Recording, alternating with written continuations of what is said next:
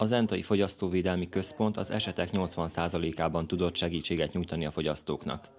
Télen a fűtési szezonban több panasz érkezett, mint egyébként. Általában a, a, a, a tüzelővel kapcsolatosan becsapásokkal, tehát lettek fizetve különböző mennyiségű tüzelőfa, vagy, vagy ugye szén, és nem kapták mi időre, időben. Akkor voltak különböző ö, elektromos eszközöknek a vásárlásakor, hogy nem működött akkor annak a visszaváltása. A fő probléma továbbra is az, hogy a lakosok nem tudatos vásárlók. Tudni kell, hogy, hogy, hogy mit akar vásárolni. Tudni kell neki, hogy hol vásároljon, hol van a jó minőségű áru.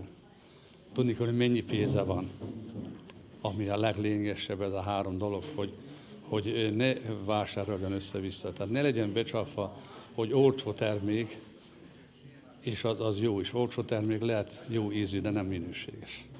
A központ idén a tervek szerint előadásokat tart, az érdeklődők többek között a tudatos vásárlásról is hallhatnak majd.